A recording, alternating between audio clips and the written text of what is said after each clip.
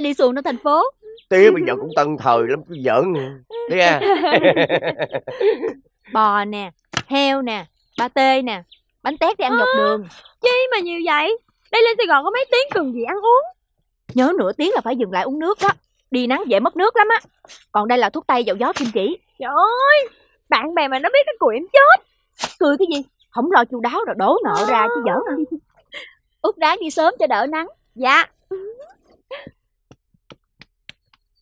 Tía là vui vẻ nghe Mạnh khỏe nghe à, Con lên trển rồi ít bữa con về với Tiến nghe lên trển nhớ nhắc anh hoàng về thăm tiếng nha Dạ. Còn chị ở nhà nhớ chăm sóc thầy Việt giùm em nha. Cái tai bụi đời đó thì cần gì phải chăm sóc. Em đi nghiêng ừ.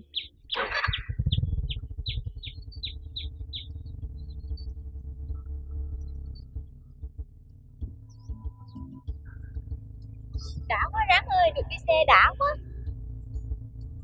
Ê ê đi đâu vậy? Đi kêu anh gì chút xíu. Dừng lại. Sao vậy? Nhỏ này Tình cứ cả đêm rồi chưa đã hả? Trâu đi tìm cọc. Chứ ai cọc đi tìm trâu? Ủa vậy hả? Chứ làm sao? Quẹo phải. Em buông sớm đi Thì quẹo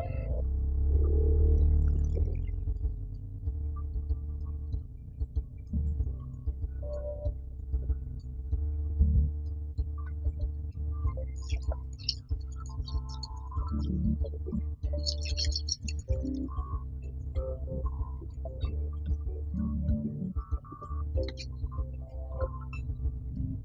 ai nhìn mày kìa? Ý chưa á Giả bộ uống cà phê để đốt đường bộ đó Mà đâu cần phải tới nhà. Anh Thôi chuyện hay Gì vậy? Dừng lại Không được, đi tiếp đi. Chúng ta chào nhé.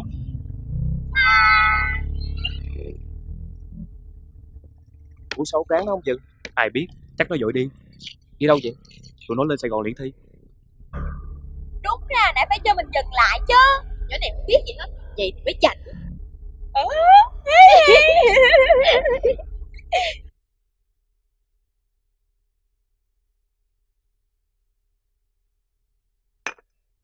Giới thiệu với hai con, đây là ông Đại, Phó Chủ tịch Hội đồng Quản trị. Dạ.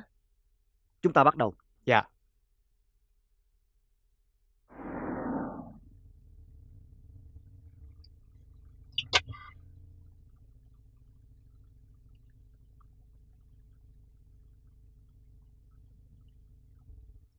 Nếu con cứ tiếp tục ăn chơi phá phách, ba sẽ không để lại cho con bất cứ cái gì.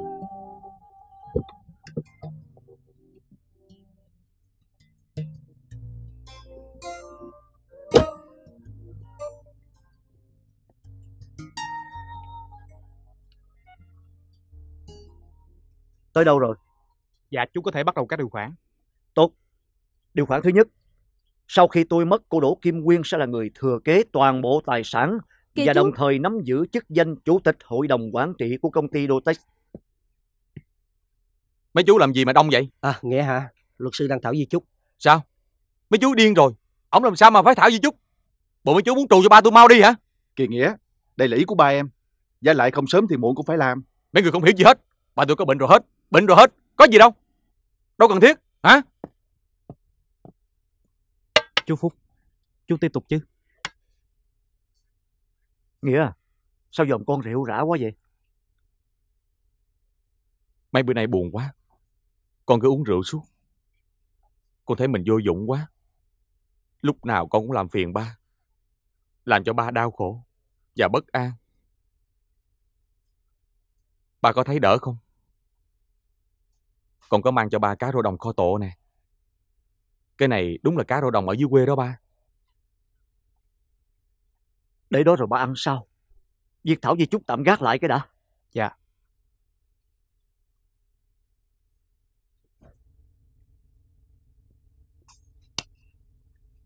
Thằng kia chỉ giỏi đóng kịch. Anh nói sao? Nó ruồng của chú thấy chú khác liền.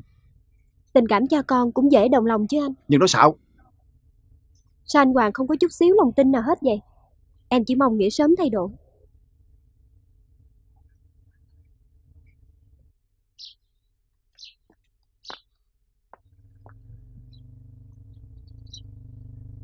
Duy nhớ khóa cổng cẩn thận.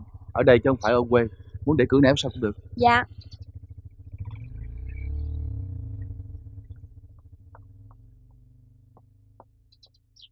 Út Rắn có nhớ đường tới trường không? Rành như là sáu câu vậy. Mình đã đi đâu một lần là nhớ như in. Ủa, sao không giống được hôm bữa? Yên tâm đi cưng. À, cô đã gọi cho anh Viện chưa? Chưa. Đúng, phải để cho anh chặn quay bắt nhớ thì chủ động gọi hiểu chưa?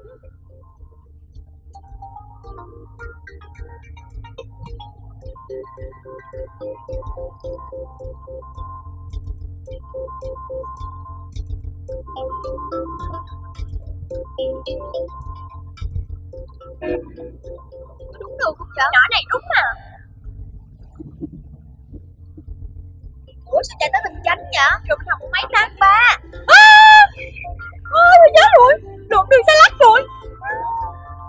Ôi. Dòng lại quẹo phải. Rồi rồi, cảm ơn. Cảm ơn.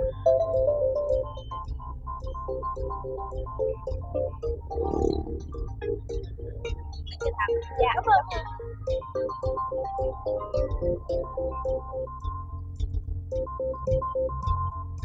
ê, ủa, quẹo, quẹo. Đi thẳng nè, nhỏ này, bên này nè, bên này mới đúng mà. Bên này mới đúng nè, nhỏ nè.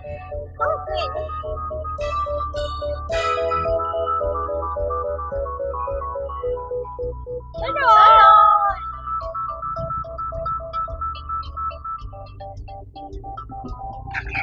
Ây cha Cuối cùng cũng về tới La Mã Tôi vô đi trễ lắm rồi.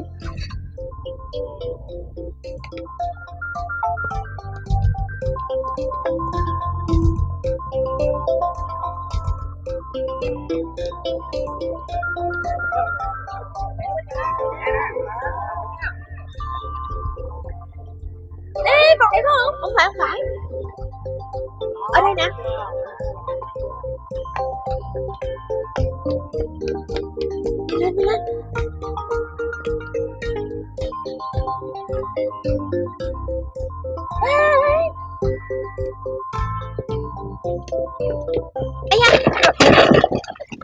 Lỗi.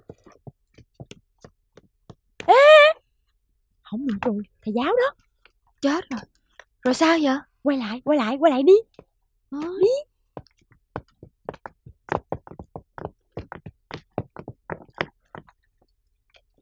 Ừ. Dạ thưa thầy. Em xin lỗi. Tại em vội quá cho nên Dạ để tụi em lượm cho. Không cần đâu.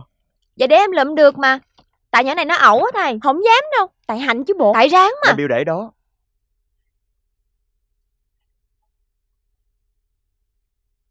Dạ Tụi em cảm ơn. Dạ tụi em đi thầy.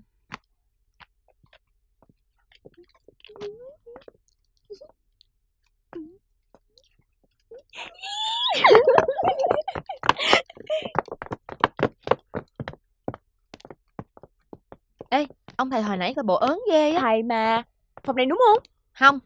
Cãi không à? À, kìa kìa, kìa thầy kìa. Dạ chào Dạ, thầy. thầy. Chào các em. Thưa thầy, đây có phải là lớp luyện thi mỹ thuật công nghiệp không ạ? Vâng đúng rồi. Tụi em đã đăng ký chưa? Dạ rồi. Dạ rồi. Vậy thì chào mừng các em đã đến với lớp luyện thi. Buổi học đầu tiên của chúng ta đến đây là kết thúc.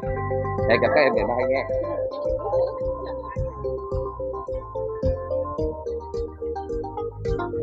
Quên đường á. Tại hạnh. Tại ông ráng Tại hạnh hồi nãy lúc nãy đùa ông thầy đó. Tại hạnh.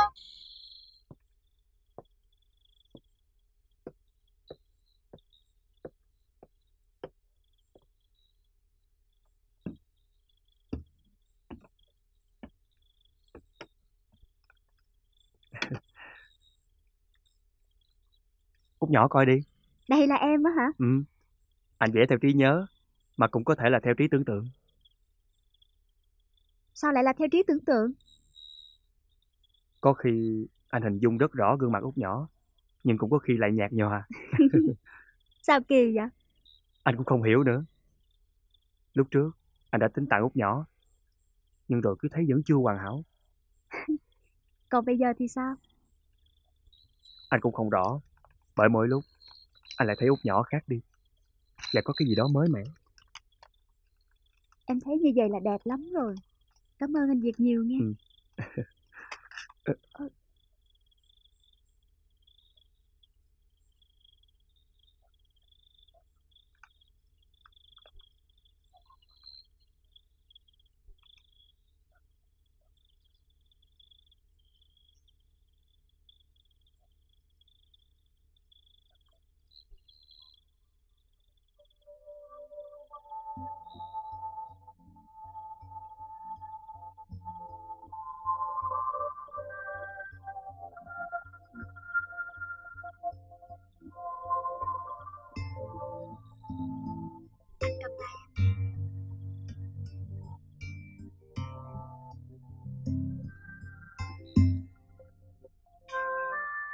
không sao?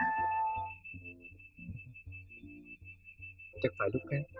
Anh mới trả lời?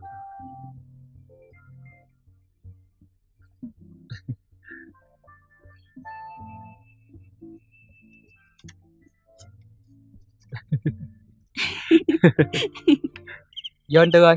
Dạ vô anh Tư. Vô anh. Sướng của út nhỏ Trước sau gì cũng sụm bà chè thôi. Tao nè Tư Hơn sẽ làm vua. Tụi bay có biết làm vua là gì không? Dạ biết Vua là hoàng đế. Nói như mày Đứa con nít nó cũng nói được. Tụi bay không hiểu được cái cảm giác làm vua thiên hạ đâu. Cái thời mà ba rằng còn sung mãn Ổng á Mới chính là vua trong cái nghề đóng ghe tàu này. Còn tao Tao chỉ là một cái bóng mờ nhạt. Đi tới đâu Ba rằng cũng được săn đón, Nể trọng. Ngưỡng mộ. Tao thèm được như vậy lắm. Tụi bay có hiểu không? Một đời người Chẳng có mấy cơ hội. Vậy nên, Đã đến lúc tư hơn này, Phải nắm lấy cuộc chơi. Đã đến lúc, tao phải trút ngôi của ba rằng dạ ba rằng sụm rồi anh tư. Ba rằng sụm xuống. Dạ. Nhưng xưởng của ông vẫn còn đó. Vẫn là cái gai trong mắt tao. Vẫn là tảng đá cản đường tao. Tụi bay chớ của chủ quan. Xưởng của út nhỏ vẫn còn mạnh lắm. Không thể xem thường được. Nó vẫn đang hưởng danh thôn của ba rằng tao sẽ tung chiêu cho nó ngã quỵ. Anh tư là vua thì tụi em là phò mã. Tướng ngu như mày mà đòi lấy con gái anh Tư. Gì? Ý lợn Ý tao muốn nói là hai đứa mình là bằng tử. Tụi bay có biết không? Tiền bạc cũng không quan trọng. Mà cái quan trọng là cái danh tiếng.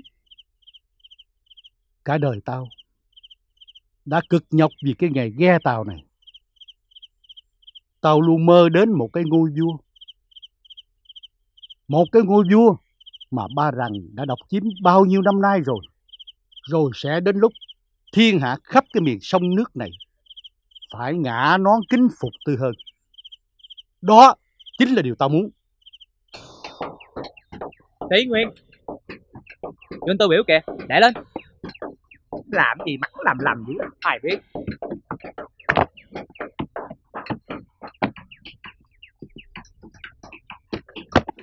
Nói thiệt với tụi bay Mỗi lần nghĩ tới thằng Việt Là tao như nuốt phải một cây gai. Tao không thể nào chịu nổi thằng đó. Đúng đó anh Tư. Nhìn mặt nó là ưa không nổi. Tao đã có sẵn một kế hoạch dành riêng cho thằng Việt Làm gì anh? Bụp nó. Bụp nó. Dễ ẹt. Quá dễ. Quá đã luôn. Trời ơi. Vậy ý anh Tư cho anh tiêu tùng luôn hả? Đồ ngu Chỉ cảnh cáo nó thôi. Mày sợ nó hả Nguyên Em vậy mà sợ hả anh Tư Tao biết mày đang sợ nó. Nhưng mà đừng lo. Tao có cả một kế hoạch để tính riêng cho tụi bay. Thằng Việt ở trên bờ Nó rất lợi hại. Nhưng ở dưới nước Nó chẳng là cái tha gì. Vậy là mình phải chơi nó ở dưới nước hả anh Tư? Đúng. Tụi bay sẽ canh me nó đi làm về rồi hành động. Khi nó đi ngang qua rạch đông đỡ. Biết tại sao tao chọn chỗ đó không? Chỗ đó nhiều ma lắm á. Có mấy người chết nước ở đó đó Em nghĩ là tại vì chỗ đó vắng. Đúng. Rạch đông đỡ rất vắng. Tụi bay sẽ bất ngờ Cho nó gậy vào lưng. Rõ chưa? Dạ rõ.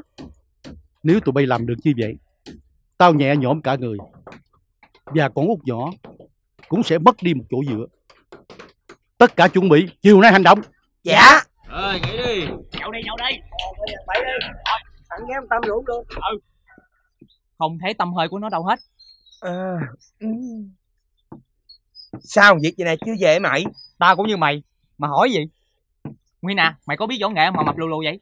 Giỡn mày. Lúc còn mi nho chắc 10 thằng tụi bay. Giống dựa cha nội. Ở đây là chỉ ớn ma thôi. Ban ngày mà cũng sợ ma nữa. Mà già lồi chân. Chết mấy người ban ngày rồi đó. Im tụi bay nó tới kìa. Đâu đâu sẵn sàng cho tụi bay. Ờ cùng với tí ơi lát tao mà không lấy ra tay mình nữa. Ập xuống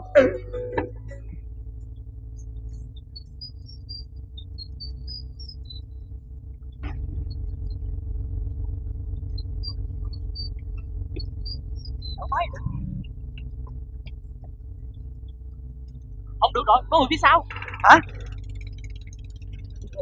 Tẻ tẻ ông đã hên quá. Vậy tư hơn lại chửi chứ đó mà hên. À hả? Chửi gì? Bữa nay không được thì bữa khác. À mày với cái tối nào hớ hớ không à? À hả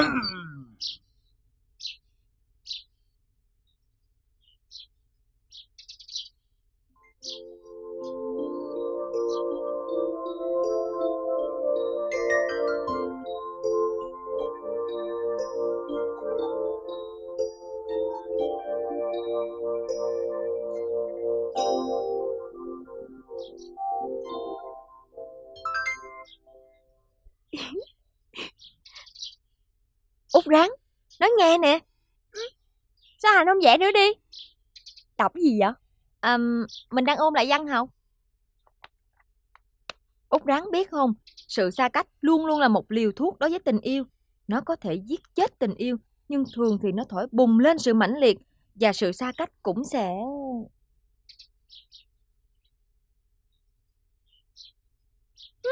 Sao nữa Hạnh? Sao không tiếp đi? À, nghe tiếp nè. Và sự xa cách sẽ giúp đôi trai gái nhận ra tình yêu thầm kín trong mình.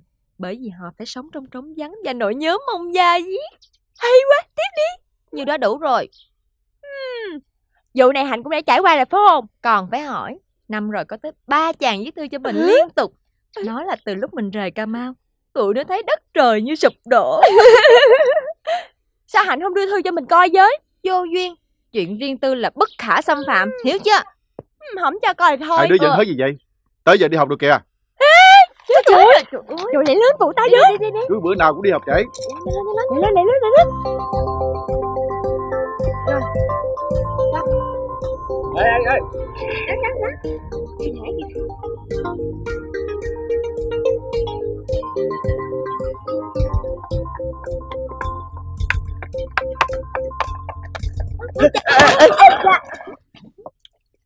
Lại là hai cô nữa hả Em xin lỗi.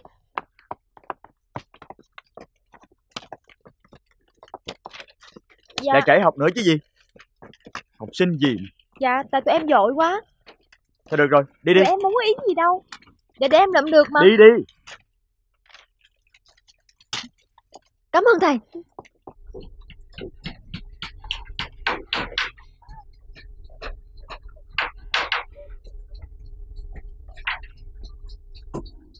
Anh Diệp, Ừ? anh chở em đi công chuyện được không? Có gì quan trọng à? Em bị sao vậy? Em sơ ý bị gỗ đè, Có đau không? cũng đủ để lâu lâu phải ngăn mặt. Tao đã căn dặn rồi. Bữa nay dứt khoát không được để cho thằng Việt trốn thoát. dạ Nhớ phải hết sức cẩn thận. Phải hết sức cẩn thận. dạ Rõ chưa? dạ rõ Tất cả đều chuẩn bị. dạ Dạ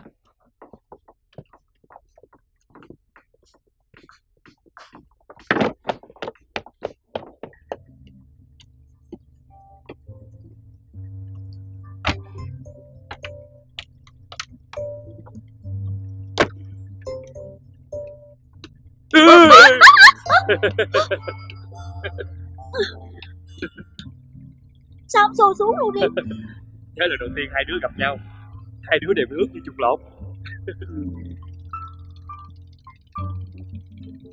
Tới bây giờ anh vẫn không hiểu. Lúc đó nhỏ đang làm gì? Anh sẽ không hiểu đâu. Thì em cứ nói đi. Lúc đó em đang thả mình chìm xuống để mẹ nước ôm vào lòng.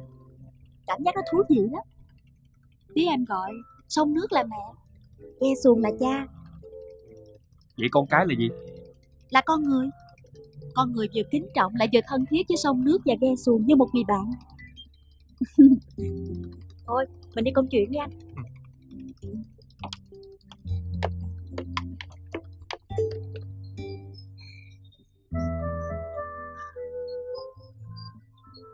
Nguyên. Ngủ hoài vậy Nguyên? Nguyên. Hả? Nó tới nó tới. Tới còn mắt mày á.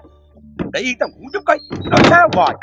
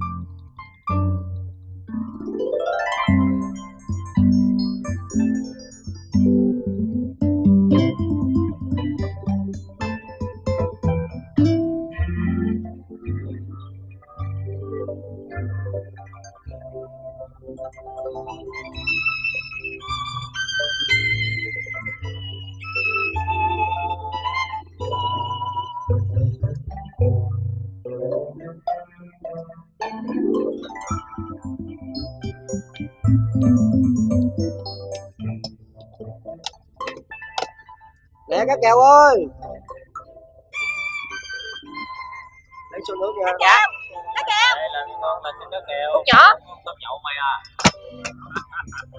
Đó nè. Cảm ơn nhỏ ha.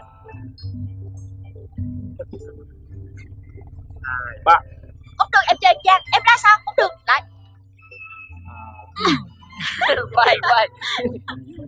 hai ba cá kèo thua rồi Thôi. Không chịu đâu. Xuống.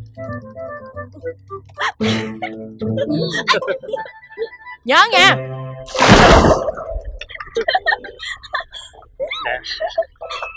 Không có tội đâu. Bà nhớ nghe chưa? lớn rồi mà chơi ác. Không dám đâu. Mấy lần trước thua, em cũng phải bị nhảy xuống nước. Chứ nó có tha đâu. Nguyên Nguyên dậy mày. Ngủ ngán chút rồi. Nó tới rồi kìa. Hả? Đâu đâu làm hả? Chết cha rồi. Có làm được không hay để tao? Hả? Mày khi dễ đấy quá tí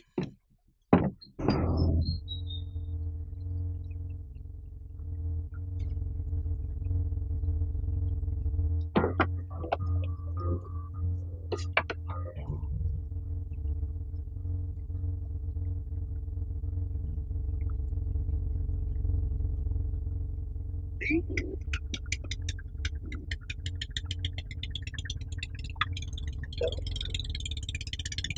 mà nó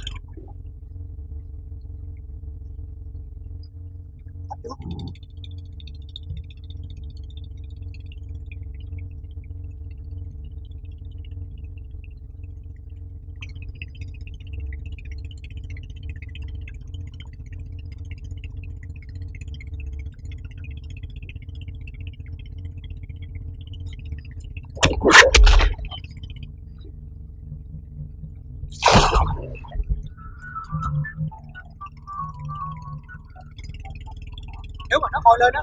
Tiếp tục cho nó lãnh đòn.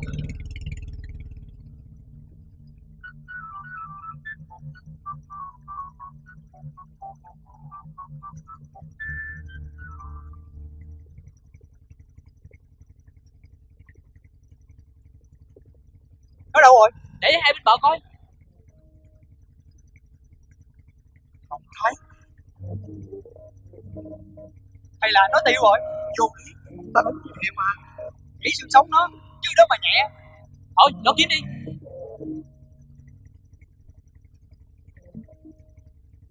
Cũng tại mày Nguyên ê, không cho nó hừa mình tao mày. Trốn nó tụi bay, Nó tiêu thiệt rồi đi thôi.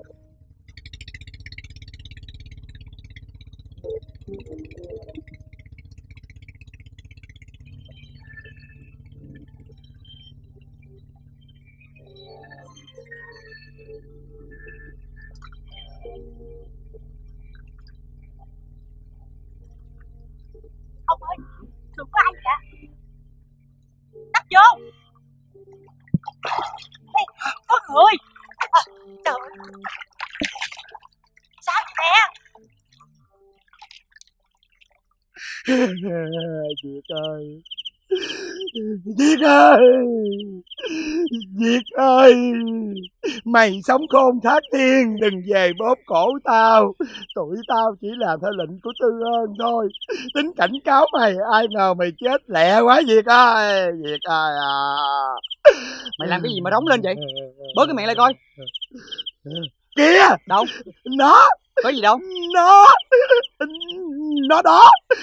Việt ơi Việt Mày đừng làm tao sợ. Mày tha tội cho tao Việt à. Nằm miệng lại đi. À, à, sát nó kìa sát nó kìa. Tao sợ ma lắm. Bây về bắt hại thằng này đấy à. Trời ơi, đó là một đám. à, bị đầu nấp dưới à Muốn chết hay sao mà cứ ngồi đi khóc rưng rức vậy? Về đi, thằng Việt đang cấp cứu trong bệnh viện kìa. Có thiệt vậy anh Tư. Sao? Sao kỳ vậy? Mà anh là người hay là má?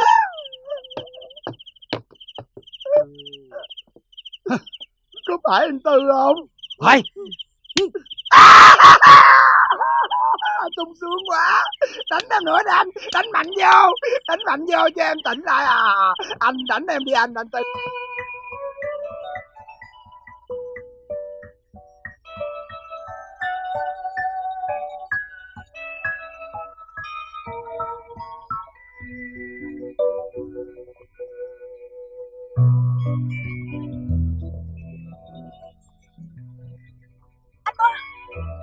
tỉnh lại hả anh Boa Anh Boa Đã bao giờ anh Diệp bị nặng như vậy chưa? Chưa. Hồi còn ở nhà Thỉnh thoảng anh Boa cũng bị chấn thương. Có lần ảnh tập lộn Bị tẩu hỏa nhập ma nằm sụp cả tuần lễ. Nhưng mà Hầu nó còn có ba mẹ để lo. Đừng khóc nữa. Nín đi anh Nín đi. Em không hiểu ra Một số anh bà cứ bị tai nạn rình rập miết Mình chỉ khoái môn vẽ chân dung thôi. Trang trí hoa văn cũng quan trọng lắm đó. Út ráng không nhớ, bao nhiêu đứa chủ quan nên rớt môn này đó hả? Út ráng thấy mình tô màu được không? Được. Mình muốn gọi điện thoại về quê quá à. Gọi cho anh Việt á hả? Ừ. Mình thấy cứ nôn nao trong người sao á. Dạ dễ sợ. Sao bồ không nghĩ chính ảnh cũng đang ám ảnh chuyện gọi điện thoại cho bồ. Phải biết kiên nhẫn chứ, hơn nhau chỗ đó đó.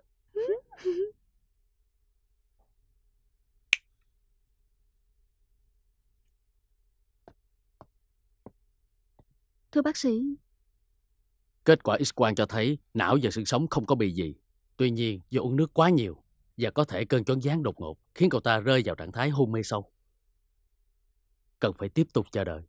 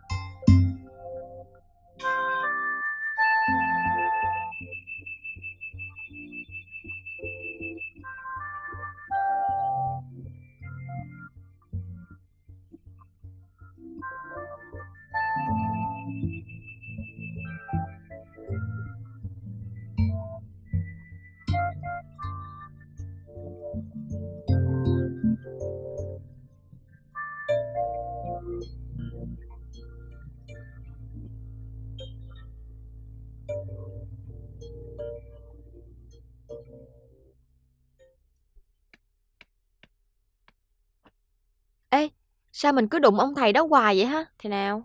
Ông thầy đeo mắt kiến cận á. Bắt đầu quan tâm đến thầy rồi ha. Thôi đi, mình đang lo lỡ mai mốt học chính thức, ổng dạy tụi mình thì chết. Chưa đậu mà đã giỏi lo xa. Lỡ đậu thì sao? Kệ bồ chứ. Bồ đụng ổng thì ráng mà lãnh đủ.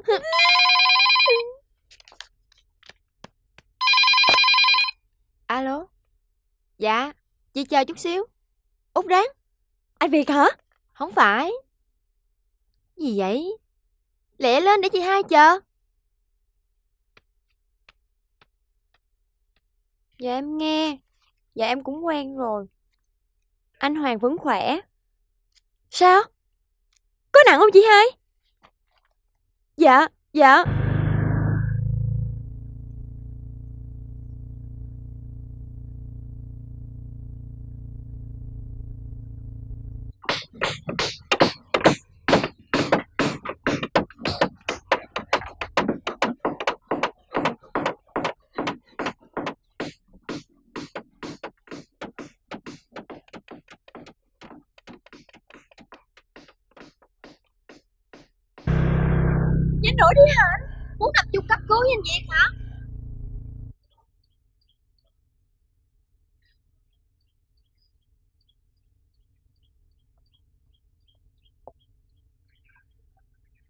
Triển gì chưa?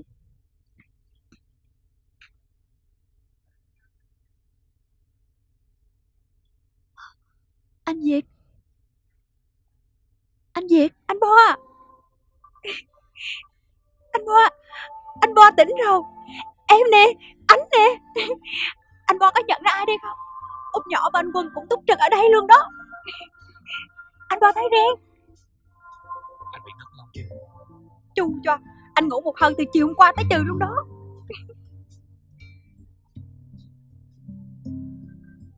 Dạ. Dạ. Dạ. Được chưa? Tỉnh lại rồi, Thấy chưa? Không, gọi điện thoại thì cứ luôn nha. Chạy qua về Sài Gòn nha. Thôi đi, Sắp tới nơi rồi mà. Vậy thì đi tiếp.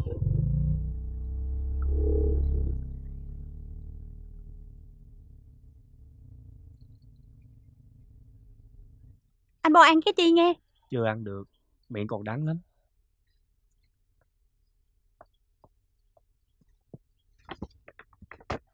Anh bo uống thuốc nghe Thuốc gì vậy anh? Thuốc bổ gia truyền Giỡn hả? Đang điều trị thuốc Tây, đâu có lọ sọ được. Mét chi mua Anh bo uống nghe Trời ơi là trời, nghe anh nói đây. Muốn dùng thuốc gì cũng phải hỏi bác sĩ trước đã. Uống tầm bậy tầm bạ thuốc này. Trơn. Uống thuốc này mới nhanh hết nè Không biết mà cứ Thôi đi, Nó tỉnh lại rồi, khỏe ve. Xin lỗi anh chị.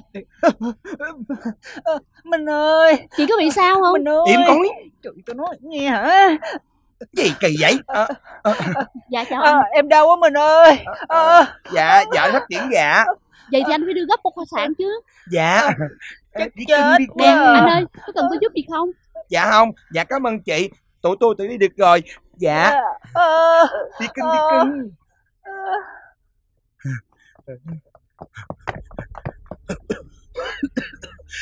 Nói thiệt với mày, tối hôm qua ông tài nào tao ngủ được. Tao cũng vậy á Bây giờ thấy nhẹ cả người nè Hả? Cưng, sao cưng? Nó có thấy mình không Không biết nữa, thôi biến gấp, chạy lên.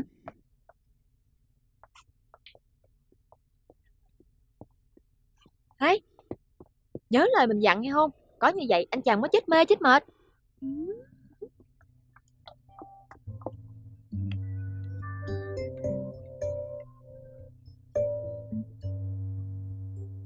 Anh gì còn đau lưng không? Sơ sơ. Em hốc hác quá. Anh không sao đâu. Đừng lo cho anh. Bà ngoại nè. Hả?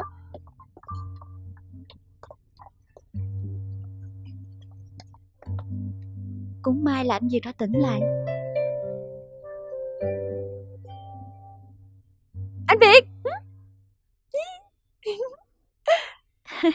Mới alo đó Mà về lẹ vậy Lúc gọi điện, em cũng về gần tới nơi rồi. Cái gói dừa của anh Việt sao rồi? Chị đêm đêm chút đỉnh. Chẳng qua anh Việt thiếu ngủ, mới vô đây ngủ bù chứ gì.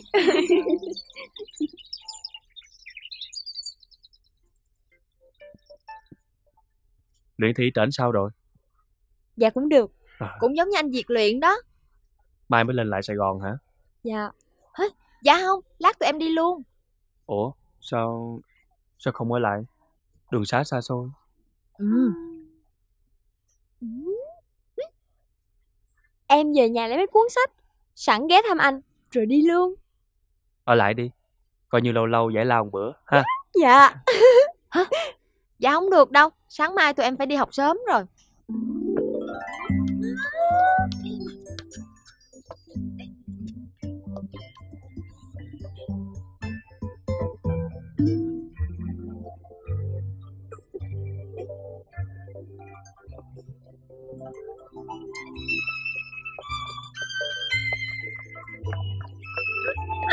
Đúng cái chứ.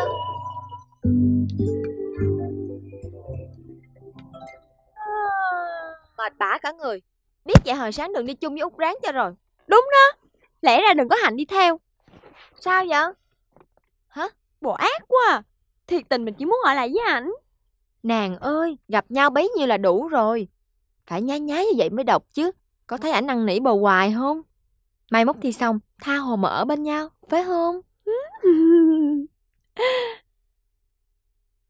Tôi muốn biết chắc là tôi đang ngồi đây, tư cách không phải là một tội phạm. Tất nhiên, chúng tôi chỉ đang trong quá trình điều tra. Anh Tư nên nói rõ những gì anh biết.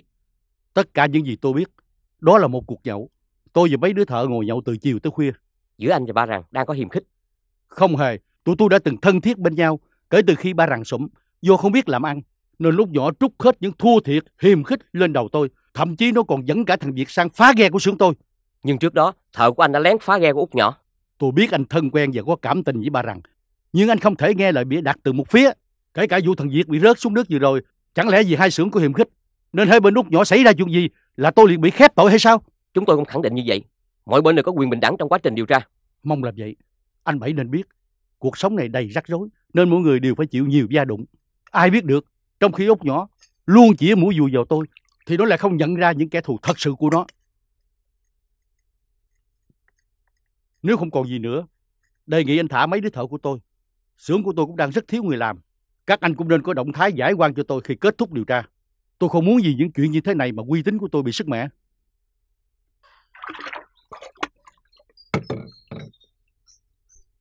Có mua gì khai khai? Đứa nào tè ăn quần hả Mày với ai còn hỏi? Cái gì? Mày sợ á, mày tè ra quần đó Nguyên. Anh Bảy á Mà giam thêm chút nữa Dám tao full ra hết luôn á. Nói thiệt Mai mốt mà tư hơn á Cho nhiêu tiền tao không dám làm chuyện này đâu. Để coi anh tư lệnh tụi bay có dám cãi Mệt quá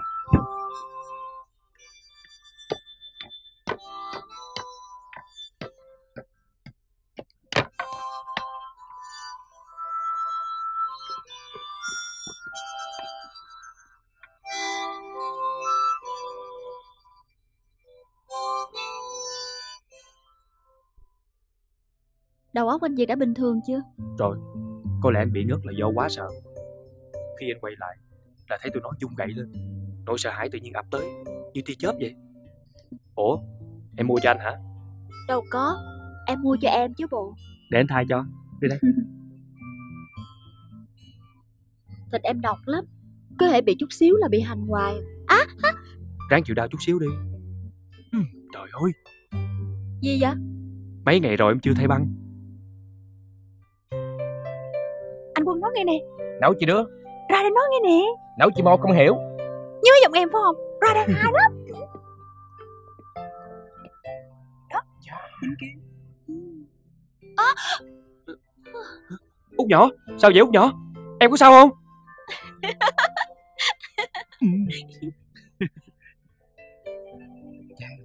Cái vụ này không cần ngôn ngữ nghe.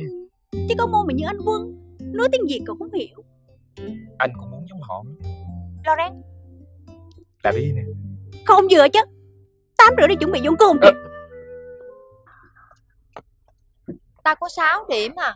Vậy mà thầy còn nói nếu thi thiệt chỉ chừng 5 điểm là cùng. Bởi vì tụi mình mới phải luyện thi. Hai chị uống gì? Ờ, một cây sầu riêng, một sữa chua. Dạ.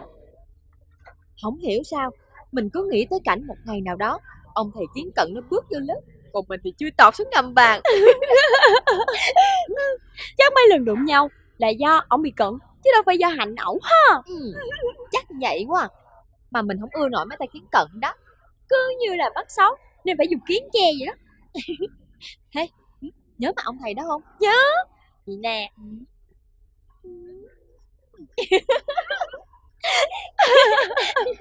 Cười quá. Chết chắc rồi. Gì vậy hả? Nhìn kìa. Thấy chưa? Sao nãy giờ tụi mình không thấy? Mình ước gì có thể rút hết những lời vừa nói. Ổng nghe không? Nghe là cái chắc. Thôi chuồng đi. Không được. Chẳng thà uống thuốc cầm xin lỗi thầy. Chứ để ông Nghiêm đó, mai mốt còn chết nữa. Đi. Đi.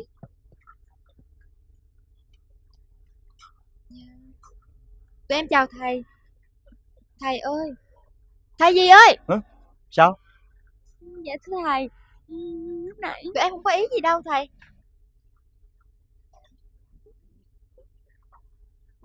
Cho, cho tụi em xin lỗi.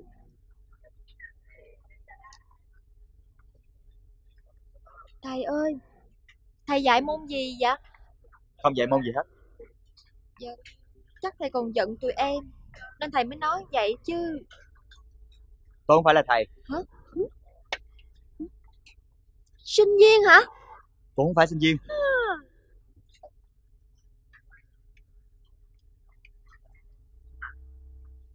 Vậy mà ông chịu nói sớm, để tụi này khỏi phải khổ sở.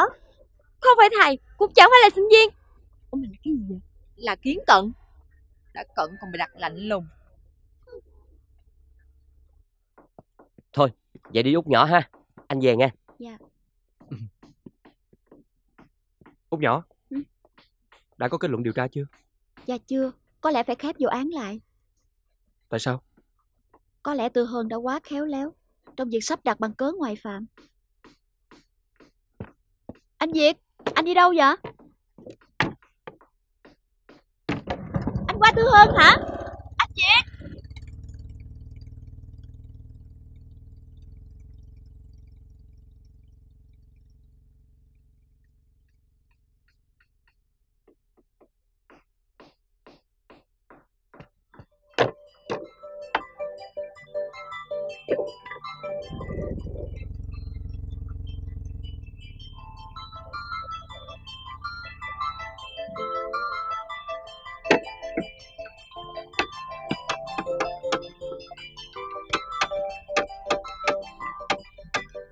Ê! Mày đâu á? Mày đứng lại coi. Ê! Mày muốn gì? Tao đã không chấp tụi bay.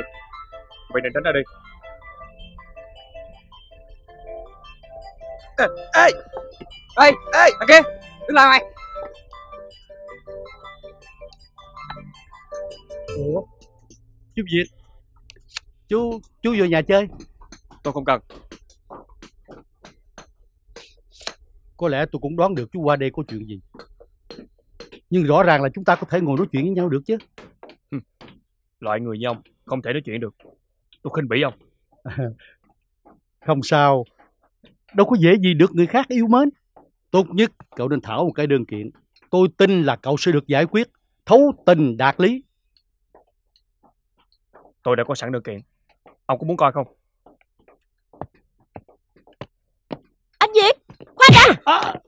Đó Đơn kiện của tôi đó.